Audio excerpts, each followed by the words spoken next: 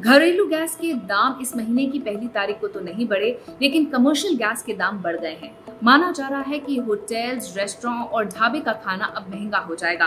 पिछले सात साल की बात करें तो 1 मार्च 2014 को एक गैस सिलेंडर का दाम चार सौ था, जो अब बढ़कर आठ सौ चौरासी हो गया है। यानी कि पिछले सात सालों में गैस सिलेंडर के दाम दोगुने बढ़ चुके हैं। सिर्फ़ इस साल की ही बात करते हैं। एक जनवरी को सिलेंडर का दाम था छह सौ चौरानवे रूपए, जो कि एक सितंबर आते आते आठ सौ चौरासी रूपए हो गया है।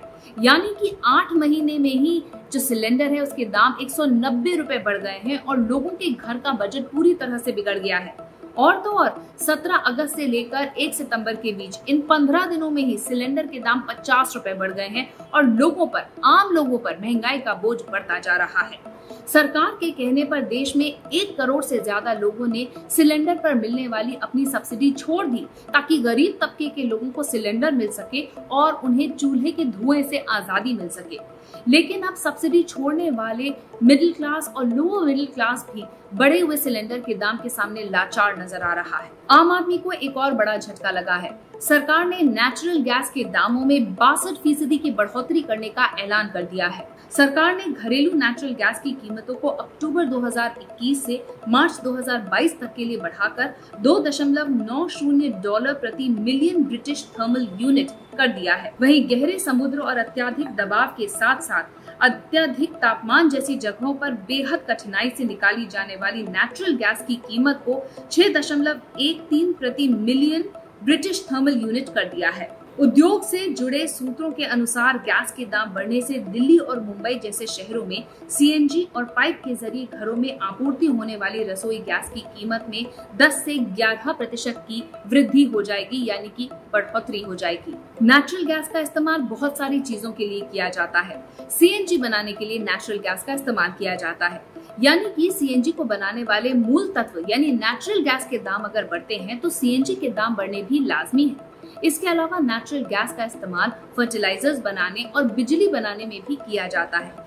यानी कि इन चीज़ों पर भी अब महँगाई की मार पड़ सकती है। पेट्रोल और डीजल के बाद अब सीएनजी और पीएनजी के दाम भी बढ़ रहे हैं। इंद्रप्रस्थ गैस लिमिटेड यानी आईजीएल ने दिल्ली में सीएनजी की कीमतों में दो दशमलव दो आठ रूपए प्रति किलोग्राम और नोएडा, ग्रेटर नोएडा और गाजियाबाद में दो दशमलव पाँच पाँच रूपए प्रति किलोग्राम का इजाफा किया है।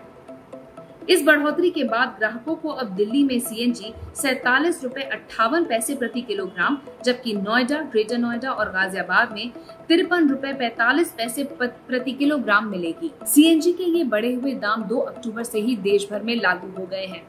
कोरोना काल में खाद्य उत्पादों के साथ साथ महंगाइयों के बढ़ते दाम भी लोगों की जेब पर भारी पड़ रहे हैं।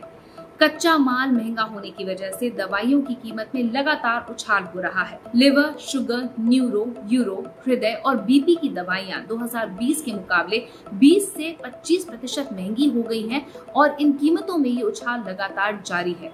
मेडिकल क्षेत्र से जुड़े हुए विशेषज्ञों का कहना है कि चीन से आने वाले कच्चे माल की आपूर्ति बंद होने का असर अब दवाइयों के बढ़ते दाम के रूप में सामने आ रहा है। वित्तीय वर्ष 2015 और 2021 में पेट्रोलियम उत्पादों पर एक्साइज ड्यूटी से केंद्र सरकार ने 16 लाख करोड़ रुपए की कमाई की है। अगले फाइनेंशियल ईयर यानी 2021 में एक्साइज ड्यूटी में बढ़ोतरी से केंद्र सरकार ने तीन दशमलव सात लाख करोड़ की कमाई की है।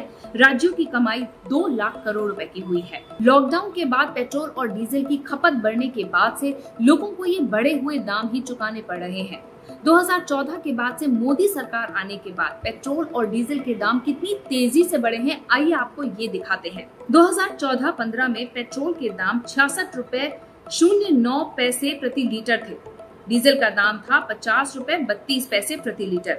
2020-21 में पेट्रोल के दाम है छिहत्तर रूपए बत्तीस पैसे प्रति लीटर और डीजल छियासठ रूपए बारह पैसे प्रति लीटर का बिक रहा है। 11 जून 2021 को पेट्रोल का दाम पिचानवे रूपए पिचासी पैसे प्रति लीटर हो गया और डीजल हो गया छियासी रूपए पिछहत्तर पैसे प्रति लीटर। एक अक्टूबर 2021 को पेट्रोल के दाम एक सौ एक रूपए नवासी पैसे हैं। और डीजल का दाम है नब्बे रूपए सत्रह पैसे प्रति लीटर। तो किस कदर महँगाई बढ़ गई है और पेट्रोल और डीजल के दाम बढ़ गए हैं, ये इन आंकड़ों से साफ़ देखा जा सकता है। इस रिपोर्ट के बारे में आपकी क्या राय है, कमेंट सेक्शन में ज़रूर लिखेगा नमस्कार।